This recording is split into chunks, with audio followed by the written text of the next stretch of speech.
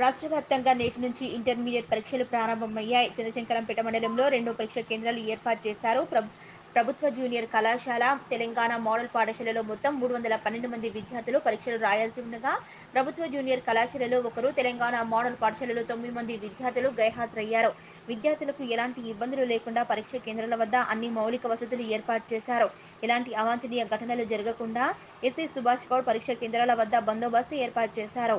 Telangana model పాఠశాల principal Srividevi ప్రభుత్వ junior కళాశాల ప్రిన్సిపల్ నాగేందర్లు మాట్లాడుతూ పరీక్ష కేంద్రాల వద్ద నూట నలభై నాలుగో సెక్షన్ విధించడం జరిగిందని పరీక్షా కేంద్రాల వద్దకు ఇతరులు ఎవరు కూడా రాకూడదని వారు తెలిపారు. విద్యార్థులు ఒక్క నిమిషం ఆలస్యంగా వచ్చినా అనుమతించడం కుదరదని కాబట్టి పరీక్షా కేంద్రానికి అరగంట ముందే హాజరు కావాలని విద్యార్థులకు సూచించారు.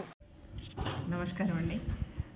ఈ రోజు నుంచి ప్రారంభమైనటువంటి ఐపీ మార్చ్ రెండు వేల ఇరవై మూడు పరీక్షలకు గాను ఈరోజు ప్రథమ సంవత్సరంలో మా సెంటర్లో four eight zero two three కోడ్లో నూట తొంభై ఒక్క మంది విద్యార్థులు అలాట్ అయితే తొమ్మిది మంది అబ్సెంట్ ఉన్నారు. నూట ఎనభై ఎనిమిది మంది ఎగ్జామ్ రాస్తున్నారు. అంతా ప్రశాంతంగా ఉంది.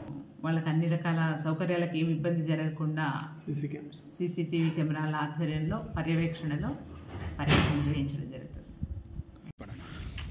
గవర్నమెంట్ జూనియర్ కాలేజ్ శంకరపేట ఆరు నందు ప్రభుత్వ ప్రభుత్వం ఇంటర్మీడియట్ ఎగ్జామ్స్ కండక్ట్ ఈ రోజు నుంచి పదిహేనవ తారీఖు నుంచి కండక్ట్ చేయడం జరుగుతుంది.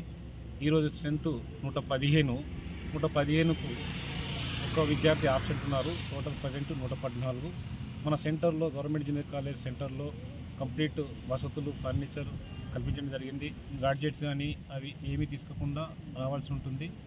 ఎగ్జామినేషన్ సెంటర్లో అన్ని వసతులు మనం కల్పించడం అనేది జరిగింది.